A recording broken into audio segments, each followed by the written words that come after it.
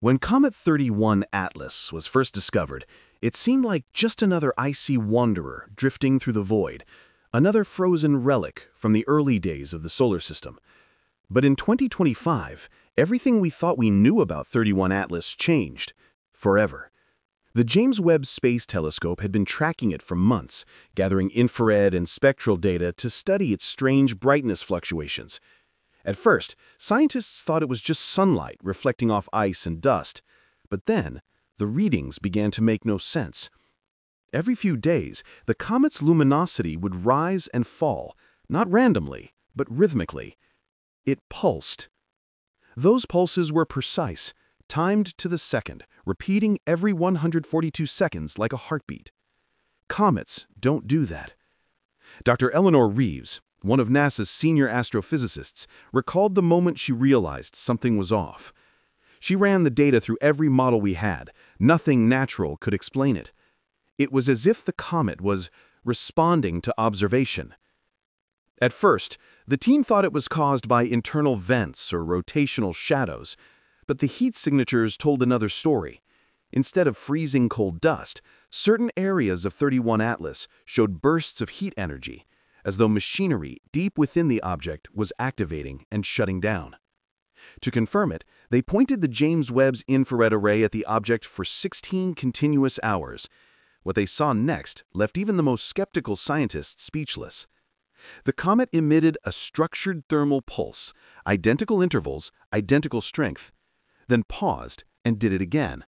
Not once, not twice, but seven times in perfect sequence. It wasn't random. It was deliberate.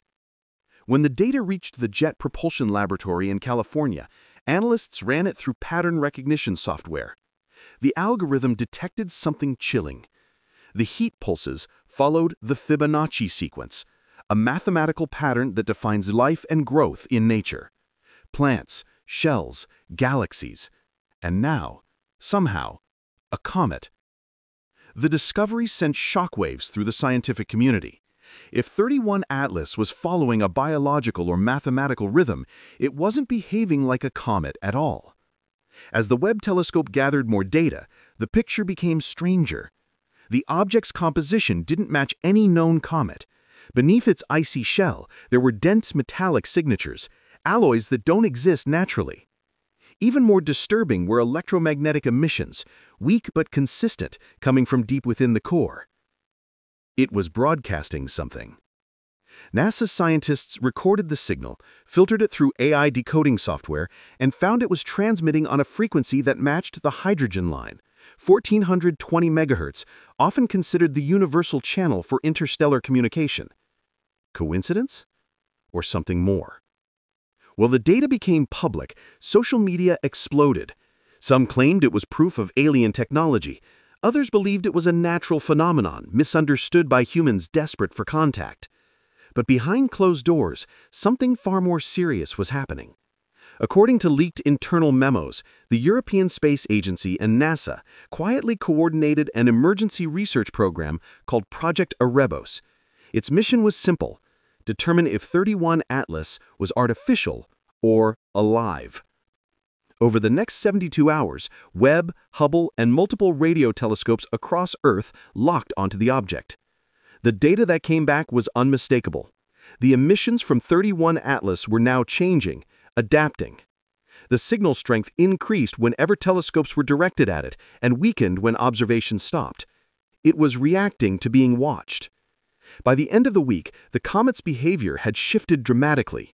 Its rotation slowed down by 0.3%, something no comet has ever done naturally.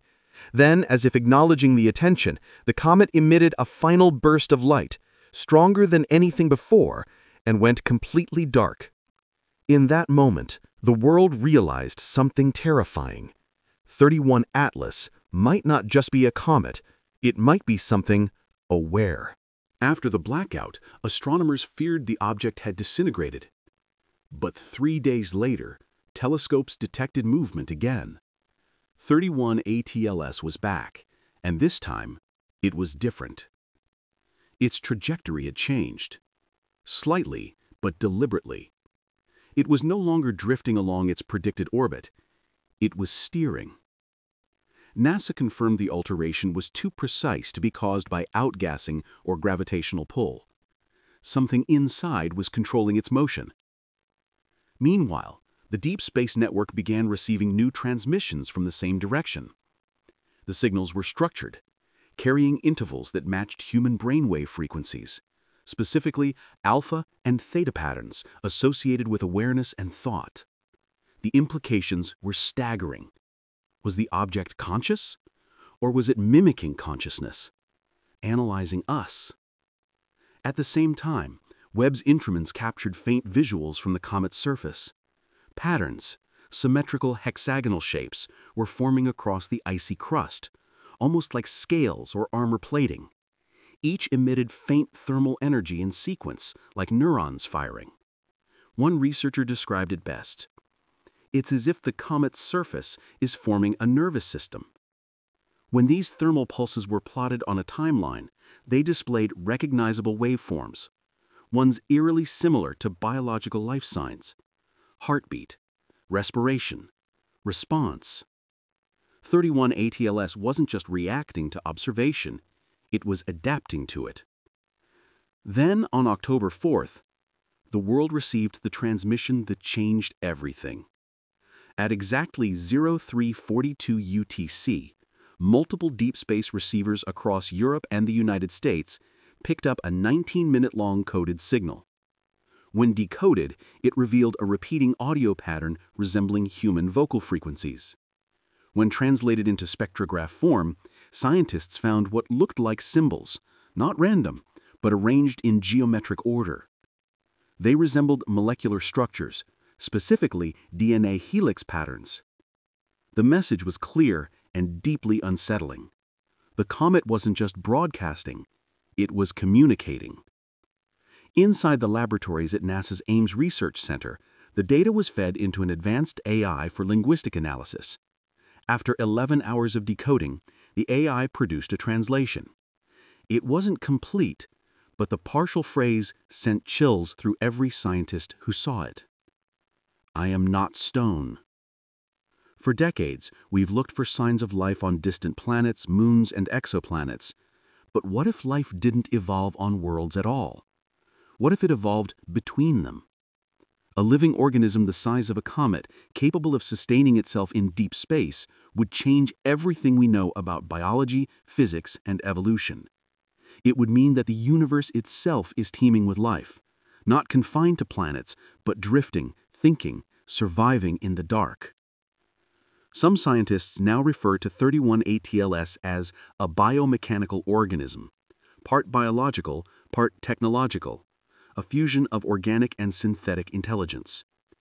Its internal energy bursts show patterns of metabolic regulation, and yet its external structure resembles engineered armor. It's as if the object was designed for both survival and communication. But here's the most alarming part. Its path continues to bend ever so slightly toward the inner solar system. Its next projected pass will bring it closer to Earth than ever before, within 0.3 astronomical units. Some researchers believe it's simply being drawn by gravitational forces. Others aren't so sure. Recent infrared readings show that 31 ATLAS emits faint light in response to our radio transmissions. It's listening. It's learning. It's aware of us and perhaps the most haunting theory yet. It's coming closer to understand why we called it dead for so long. Because maybe, in the cold silence of space, it was never sleeping. It was waiting. And now, with every pulse, every signal, every whisper of radiation, it's telling us one thing. 31 ATLAS is alive.